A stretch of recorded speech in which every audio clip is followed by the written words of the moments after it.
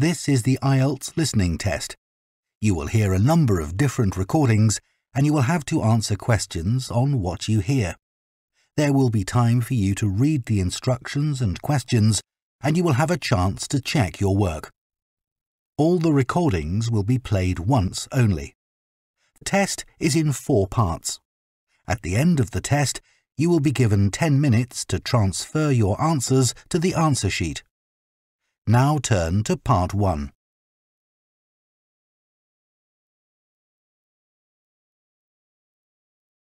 Part 1.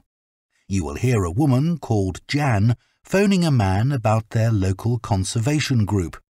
First, you have some time to look at questions 1 to 5.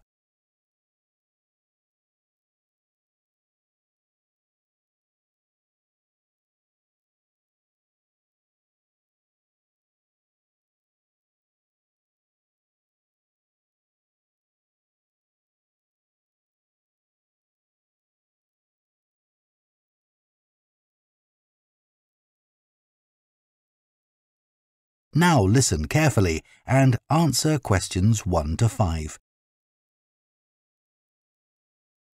Hello? Oh, hello.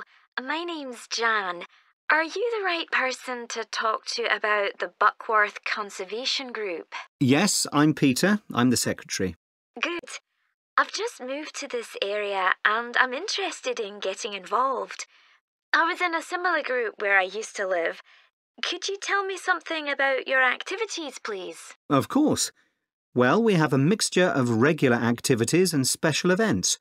One of the regular ones is trying to keep the beach free of litter. A few of us spend a couple of hours a month on it, and it's awful how much there is to clear. I wish people would be more responsible and take it home with them. I totally agree. I'd be happy to help with that. Is it okay to take dogs? I'm afraid not, as they're banned from the beach itself. You can take them along the cliffs, though, and children are welcome. Right. We also manage a nature reserve, and there's a lot to do there all year round. For example, because it's a popular place to visit, we spend a lot of time looking after the paths and making sure they're in good condition for walking. I could certainly help with that. Good. And we have a programme of creating new habitats there. We've just finished making and installing nesting boxes for birds to use, and next we're going to work on encouraging insects. They're important for the biodiversity of the reserve. They certainly are. Oh, and we're also running a project to identify the different species of butterflies that visit the reserve. You might be interested in taking part in that. Sure. I was involved in something similar where I used to live, counting all the species of moths. I'd enjoy that. Another job we're doing at the reserve is replacing the wall on the southern side, between the parking area and our woodshed. It was badly damaged in a storm last month. Okay. Before you hear the rest of the conversation, you have some time to look at questions 6 to 10.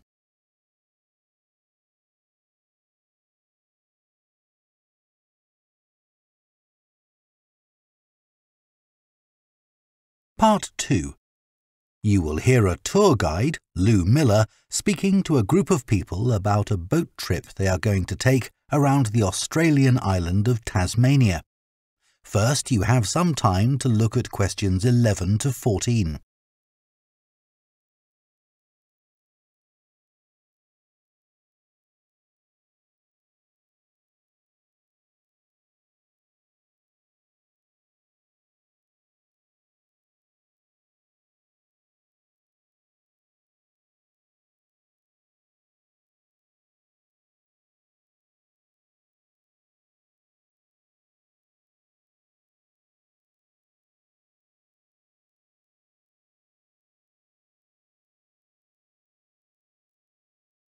Now listen carefully and answer questions 11 to 14. So, hello everyone. My name's Lou Miller, and I'm going to be your tour guide today as we take this fantastic boat trip around the Tasmanian coast. Before we set off, I just want to tell you a few things about our journey. Our boats aren't huge, as you can see. We already have three staff members on board, and on top of that, we can transport a further 15 people, that's you, around the coastline. But please note, if there are more than nine people on either side of the boat, we'll move some of you over. Otherwise, all 18 of us will end up in the sea. We've recently upgraded all our boats. They used to be jet black, but our new ones now have these comfortable dark red seats and a light green exterior in order to stand out from others and help promote our company. This gives our boats a rather unique appearance, don't you think? We offer you a free lunchbox during the trip, and we have three types. Lunchbox 1 contains ham and tomato sandwiches. Lunchbox 2 contains a cheddar cheese roll. And Lunchbox 3 is salad based and also contains eggs and tuna. All three lunchboxes also have a packet of crisps and chocolate bar inside. Please let staff know which lunchbox you prefer. I'm sure I don't have to ask you not to throw anything into the sea. We don't have any bins to put litter in, but Jess, myself, or Ray, our other guide, will collect it from you after lunch and put it all in a large plastic sack. Before you hear the rest of the talk, you have some time to look at questions 15 to 20.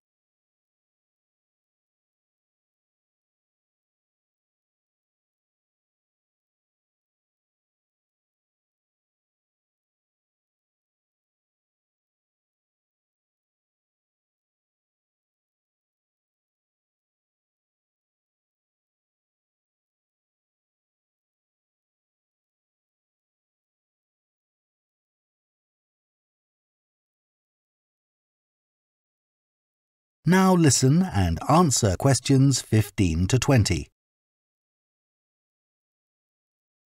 The engine on the boat makes quite a lot of noise, so before we head off, let me tell you a few things about what you're going to see. This area is famous for its ancient lighthouse, which you'll see from the boat as we turn past the first little island. It was built in 1838 to protect sailors, as a number of shipwrecks had led to significant loss of life. The construction itself was complicated, as some of the original drawings kept by the local council show. It sits right on top of the cliffs in a very isolated spot, in the 19th century, there were many jobs there, such as polishing the brass lamps, chopping firewood, and cleaning windows that kept lighthouse keepers busy. These workers were mainly prison convicts until the middle of that century, when ordinary families willing to live in such circumstances took over. Some of you have asked me what creatures we can expect to see. I know everyone loves the penguins, but they're very shy and unfortunately tend to hide from passing boats. But you might see birds in the distance, such as sea eagles, flying around the cliff edges where they nest. When we get to the rocky area inhabited by fur seals, we'll stop and watch them swimming around the coast. They're inquisitive creatures, so don't be surprised if one pops up right in front of you. Their predators, orca whales, hunt along the coastline too, but spotting one of these is rare. Dolphins, on the other hand, can sometimes approach on their own or in groups as they ride the waves beside us. Lastly, I want to mention the caves. Tasmania is famous for its caves, and the ones we'll pass by are so amazing that people are lost for words when they see them. They can only be approached by sea, but if you feel that you want to see more than we're able to show you, then you can take a kayak into the area on another day, and one of our staff will give you more information on that. What we'll do is to go through a narrow channel past some incredible rock formations, and from there we'll be able to see the openings to the caves, and at that point we'll talk to you about what lies beyond. That is the end of part two. You now have half a minute to check your answers to part two.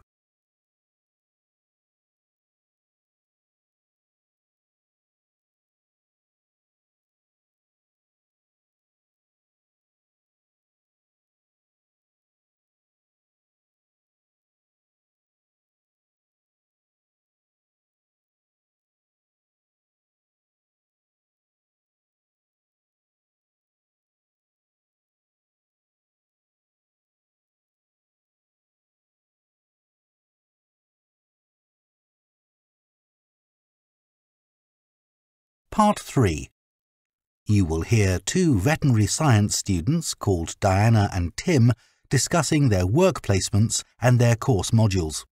First, you have some time to look at questions 21 to 26.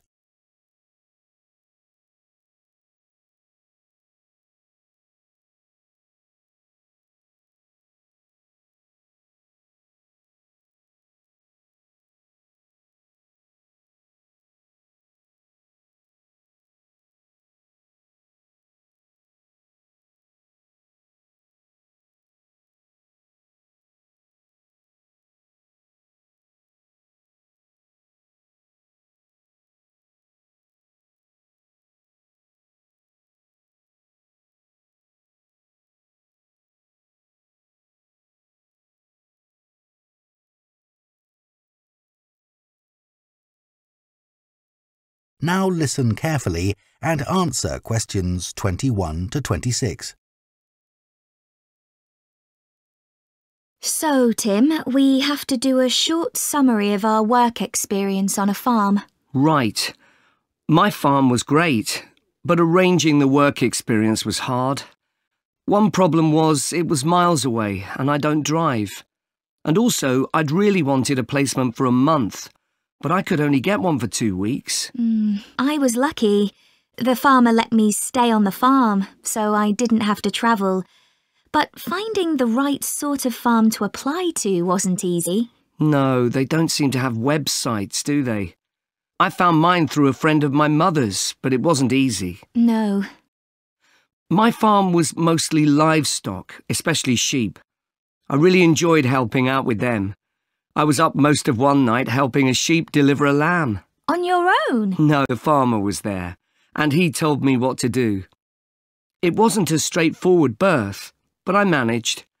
It was a great feeling to see the lamb stagger to its feet and start feeding almost straight away, and to know that it was okay. Hmm. Then another time, a lamb had broken its leg, and they got the vet in to set it, and he talked me through what he was doing. That was really useful. Yes, my farm had sheep too. The farm was in a valley and they had a lowland breed called Suffolks, although the farmer said they'd had other breeds in the past. So were they bred for their meat? Mostly, yes. They're quite big and solid. My farm was up in the hills and they had a different breed of sheep. They were Cheviots. Oh, I heard their wool's really sought after. Yes, it's very hard wearing and they use it for carpets. Right. I was interested in the amount of supplements they add to animals' feed nowadays. Like, even the chickens got extra vitamins and electrolytes in their feed. Yes, I found that too. And they're not cheap. But my farmer said some are overpriced for what they are, and he didn't give them as a matter of routine, just at times when the chickens seemed to particularly require them. Yes, mine said the same. He said certain breeds of chickens might need more supplements than the others, but the cheap and expensive ones are all basically the same. Mm. So, did your farm have any other livestock, Diana? Yes, dairy cows. Oh, I made a really embarrassing mistake when I was working in the milk shed. Some cows had been treated with antibiotics, so their milk wasn't suitable for human consumption, and it had to be put in a separate container. But I got mixed up, and I poured some milk from the wrong cow in with the milk for humans, so the whole lot had to be thrown away. The farmer wasn't too happy with me. I asked my farmer how much he depended on the vet to deal with health problems. I'd read reports that the livestock's health is being affected as farmers are under pressure to increase production. Well, he didn't agree with that, but he said that actually some of the stuff the vets do, like minor operations, he'd be quite capable of doing himself. Yeah, my farmer said the same, but he reckons vet skills are still needed. Before you hear the rest of the conversation, you have some time to look at questions 27 to 30.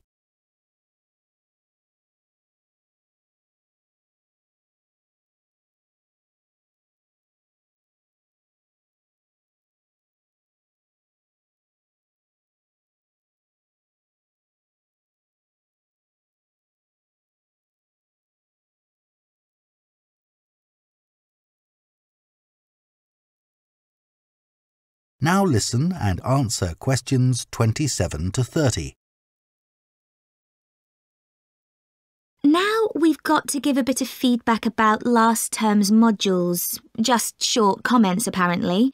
Shall we do that now? OK, so medical terminology. Well, my heart sank when I saw that, especially right at the beginning of the course, and I did struggle with it. I thought it'd be hard, but actually, I found it all quite straightforward. What did you think about diet and nutrition? OK, I suppose. Do you remember what they told us about pet food and the fact that there's such limited checking into whether or not it's contaminated? I mean, in comparison with the checks on food for humans, I thought that was terrible. Hmm. I think the module that really impressed me was the animal disease one when we looked at domesticated animals in different parts of the world, like camels and water buffalo and alpaca. The economies of so many countries depend on these, but scientists don't know much about the diseases that affect them. Yes. I thought they'd know a lot about ways of controlling and eradicating those diseases, but that's not the case at all. I loved the wildlife medication unit. Things like helping birds that have been caught in oil spills. That's something I hadn't thought about before. Yeah.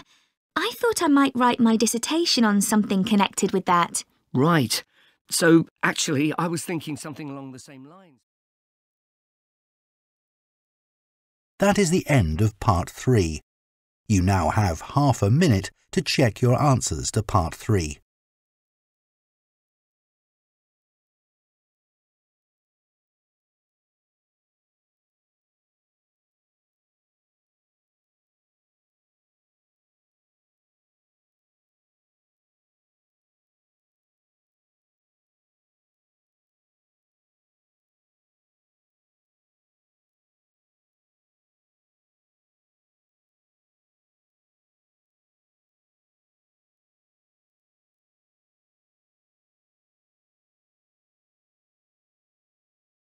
Part 4. You will hear an anthropology student giving a presentation on spiral path designs known as labyrinths. First, you have some time to look at questions 31 to 40.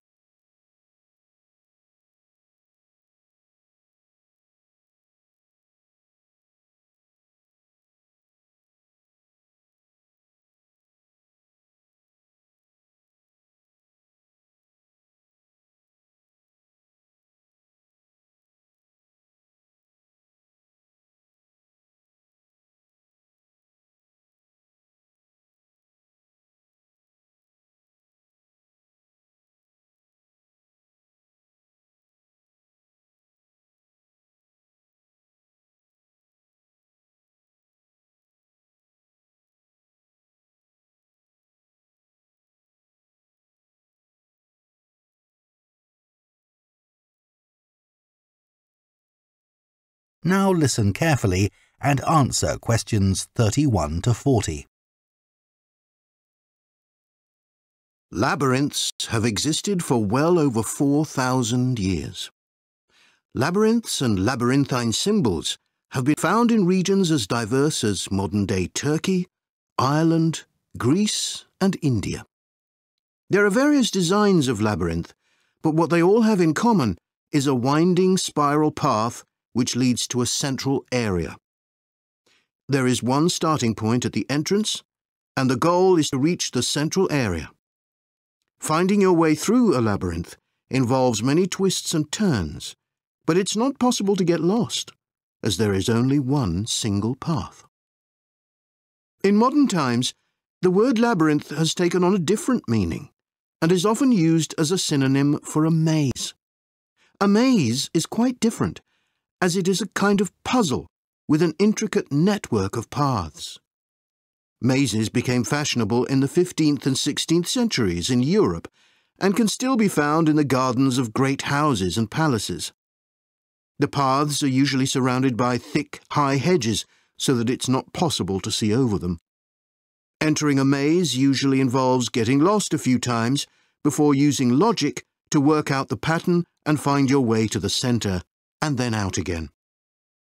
There are lots of dead ends and paths which lead you back to where you started.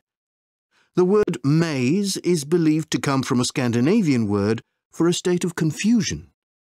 This is where the word amazing comes from. Labyrinths, on the other hand, have a very different function.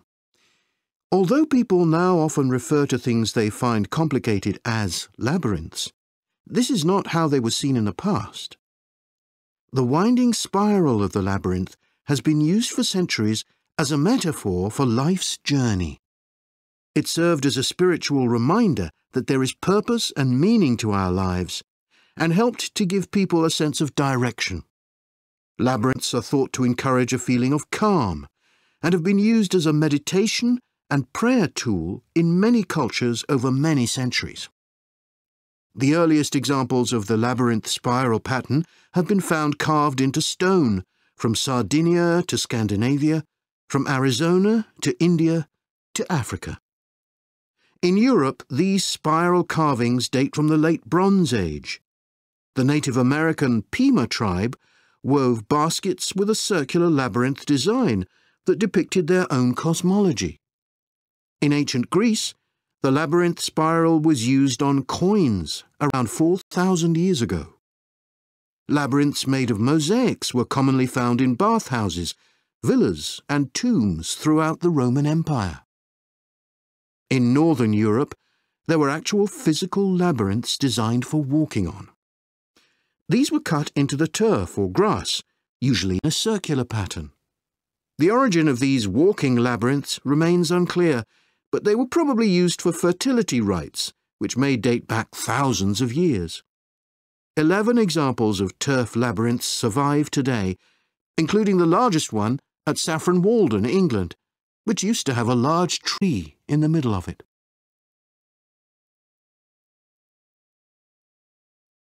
More recently, labyrinths have experienced something of a revival. Some believe that walking a labyrinth promotes healing and mindfulness, and there are those who believe in its emotional and physical benefits, which include slower breathing and a restored sense of balance and perspective. This idea has become so popular that labyrinths have been laid into the floors of spas, wellness centres, and even prisons in recent years. A pamphlet at Colorado Children's Hospital informs patients that walking a labyrinth can often calm people in the midst of a crisis. And apparently, it's not only patients who benefit. Many visitors find walking a labyrinth less stressful than sitting in a corridor or waiting room. Some doctors even walk the labyrinth during their breaks. In some hospitals, patients who can't walk can have a paper finger labyrinth brought to their bed.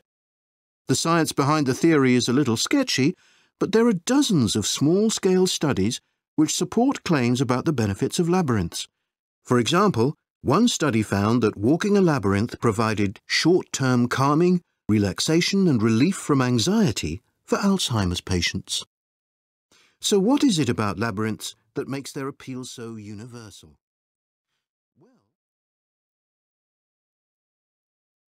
That is the end of part four. You now have one minute to check your answers to part 4.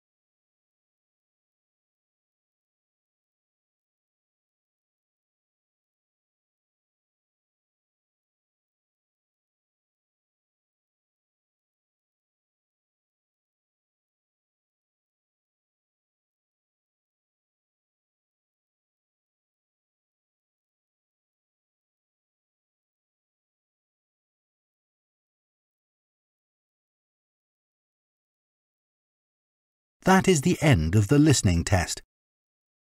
In the IELTS test, you would now have 10 minutes to transfer your answers to the answer sheet.